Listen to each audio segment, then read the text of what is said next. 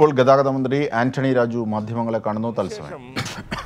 ഇപ്പോൾ മുപ്പതാം തീയതി എൽ ഡി എഫ് യോഗം ചേർന്ന് ഈ കാര്യം ചർച്ച ചെയ്ത് ഈ കാര്യത്തിൽ അന്തിമമായി തീരുമാനമെടുക്കുമെന്ന് പറഞ്ഞതിന് ശേഷം ഇപ്പോൾ ഈ സമരം ചെയ്യുന്നതിന്റെ പിന്നിലെ ലക്ഷ്യം മറ്റു ചിലതാണ്.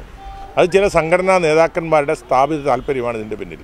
അതായത് തങ്ങൾ സമരം ചെയ്തിട്ടാണ് ഇത് ഫെയർ റിവിഷൻ ഉണ്ടായത് എന്ന് ബസ്സുടമകളെ ബോധ്യപ്പെടുത്താനുള്ള സ്ഥാപിത താല്പര്യമാണ് ഇതിന്റെ പിന്നിലെ ലക്ഷ്യം. ഞാൻ ചോദിക്കട്ടെ ഇവിടെ ഓട്ടോ ടാക്സി സംഘടനകൾ ഇതേ ആവശ്യം ഉന്നയിച്ചുകൊണ്ട് ഇതേ കാലഘട്ടത്തിൽ തന്നെ അവരും ആവശ്യം ഉന്നയിച്ച് നിവേദനം തന്നതാണല്ലോ.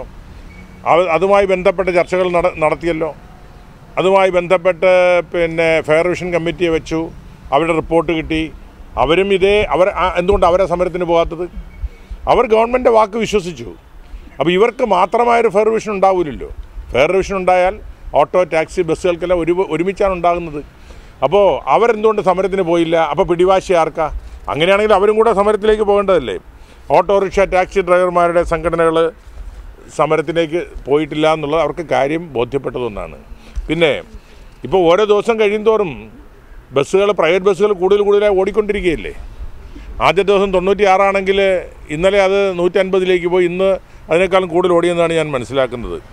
അതുകൊണ്ട് ഇക്കാര്യത്തിൽ പിടിവാശി ഉപേക്ഷിച്ച് സമരം പിൻവലിക്കാൻ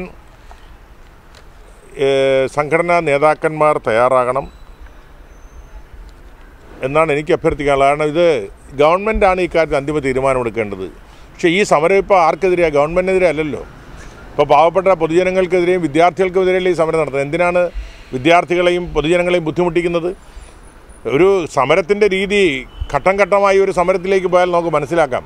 ഇതെടുത്തു ചാടി അവസാനത്തെ സമരായുധമാണ് ആദ്യം പ്രഖ്യാപിച്ചിരിക്കുന്നത്. അപ്പോൾ മുപ്പതാം തീയതിയുള്ള എൽ ഡി എഫിൽ ഈ കാര്യത്തിൽ ചർച്ച ചെയ്യുമെന്ന് ഉറപ്പ് വന്നതിന് ശേഷം ഏറ്റവും അവസാനത്തെ സമരായുധം പ്രഖ്യാപിച്ചുകൊണ്ട് ഇപ്പോൾ സമരത്തിൽ തടിയൂരാൻ കഴിയാതെ ഗവൺമെന്റിനെ കുറ്റപ്പെടുത്തുന്നത് ശരിയല്ല. ഗവൺമെന്റ് ഇക്കാര്യത്തിൽ തുറന്ന മനസ്സാണ്. ഈ കാര്യത്തിൽ ചാർജ് വർധനവ് അനിവാര്യമാണെന്ന് ഗവൺമെന്റ് പ്രഖ്യാപിച്ചു കഴിഞ്ഞു. അത് എങ്ങനെ നടപ്പിലാക്കണം എന്ന് നടപ്പിലാക്കുന്നതിനെക്കുറിച്ച് മുപ്പതാം തീയതി എൽ ഡി എഫ് ചർച്ച ചെയ്യും. അല്ല ഇതിനകത്ത് ഇത്രയും ദിവസമായി. സർക്കാർ ഒരു നടപടി അവർക്കെതിരെ എടുക്കുന്നില്ല. പകരം അങ്ങോട്ടും ഇങ്ങോട്ട് പഴിചാരി മുന്നോട്ട് പോവുകയാണ്. ഇത് ഇക്കാര്യത്തിലൊരു ഒത്തുകളി സൈലന്റ് ആയിട്ട് ഉണ്ടോ എന്നൊരു ആക്ഷേപം പ്രധാനമായിട്ടുണ്ട് നടപടിയെടുത്ത് അവരെ സ്ട്രീറ്റിലേക്ക് ബസ് അല്ല ഈ കാര്യത്തിലൊരു നടപടിയെടുക്കേണ്ട ഒരു ഘട്ടത്തിലേക്ക് പോയിട്ടില്ല. കാരണം ഏതായാലും ഇരുപത്തിയെട്ട് ഇരുപത്തൊമ്പതിന് പൊതു പണിമുടക്കാണ് പിന്നെ നാളെ ഞായറാഴ്ചയാണ്. അത് കഴിഞ്ഞാൽ ഇരുപത്തെട്ട് മുപ്പാം തീയതി എൽ ഡി എഫ് ആണ്. എൽ ഡി എഫ് യോഗം കഴിഞ്ഞാൽ തീരുമാനം ഉണ്ടാകും തീരുമാനം കൈക്കൊള്ളും. എൽ ഡി എഫിന്റെ തീരുമാനം കൈക്കൊള്ളുന്നതനുസരിച്ച് എന്നാണ് ഫെയർ റിവിഷൻ വേണ്ടത് എങ്ങനെ വേണമെന്നോ തീരുമാനമെടുക്കും. അപ്പോൾ പിന്നെ ഈ കാര്യത്തിൽ നടപടിയുടെ ഘട്ടത്തിലേക്ക് നമ്മൾ എത്തിച്ചേരാനുള്ള സമയമായില്ലല്ലോ.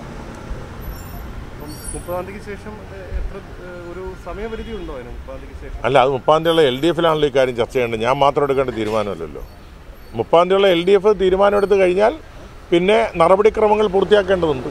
അതിന്റെതായ സമയമെടുക്കും. K S R T C കൂടുതൽ സർവീസുകൾ ഈ തെക്കൻ മേഖലയിലാണ് കൂടുതൽ നടക്കുന്നത്. ഈ വടക്കൻ മേഖലയിൽ നിന്ന് മലബാറിൽ നിന്ന് ഒരുപാട് വ്യാപകമായിട്ടുള്ള പരാതികൾ ബസ് സ്റ്റേഷനുകളിൽ ആളുകൾ കാത്തിരിക്കുന്ന സാഹചര്യമൊക്കെ ഉണ്ട് ഒരു ബസ്സിന്. അതുപോലെ തന്നെ സമാന്തര സർവീസുകൾ വലിയ രീതിയിൽ കൂടിയിട്ടുമുണ്ട്. അല്ല കെ എസ് ആർ ടിയെ സംബന്ധിച്ചിടത്തോളം ഈ കാര്യത്തിൽ ഒരു മേഖലയും കെ എസ് ആർ ടി സിക്ക് ഇല്ല. കെ എസ് ആർ ടി സിക്ക് കേരളം മുഴുവൻ ഒന്നായി കാണുന്ന ഒരു സംവിധാനമാണല്ലോ. സ്വാഭാവികമായിട്ടും വടക്കൻ മേഖലകളിലാണ് സ്വകാര്യ ബസ്സുകൾ കൂടുതൽ അവിടെയാണ് സ്വകാര്യ ബസ്സുകളുടെ കുറവുണ്ടായിട്ടുള്ളത്. അതിനെ അതേ എണ്ണത്തിൽ നികത്താനുള്ള സംവിധാനം പെട്ടെന്നൊരു സുപ്രഭാതത്തിൽ ഉണ്ടാക്കാൻ കഴിയില്ലല്ലോ. ഏതായാലും കെ എസ് ആർ ടി പരമാവധി സൗകര്യം ചെയ്യാൻ ശ്രമിക്കുന്നുണ്ട്. പിന്നെ ഇതുപോലുള്ള ഘട്ടങ്ങളിൽ യാത്രാ സൗകര്യം ഉറപ്പുവരുത്താൻ ജനങ്ങൾക്ക് മറ്റ് സംവിധാനങ്ങളെ ആശ്രയിക്കേണ്ടി വരും.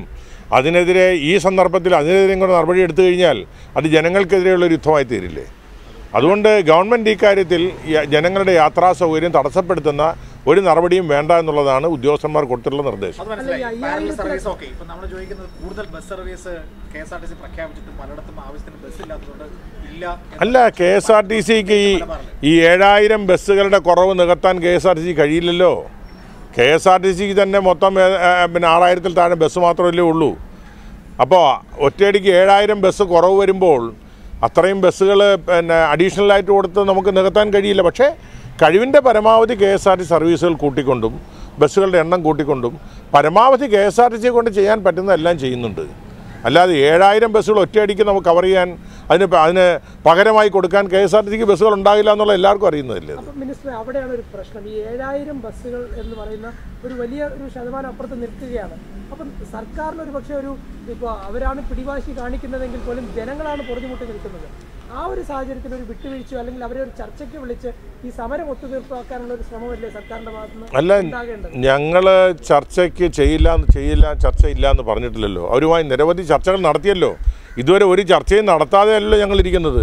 ഞാൻ തന്നെ സമരം പ്രഖ്യാപിച്ച ഘട്ടത്തിൽ കോട്ടയത്ത് പോയാണ് അവരെ കണ്ട് ചർച്ച നടത്തിയത് ഒരു ഘട്ടത്തിൽ.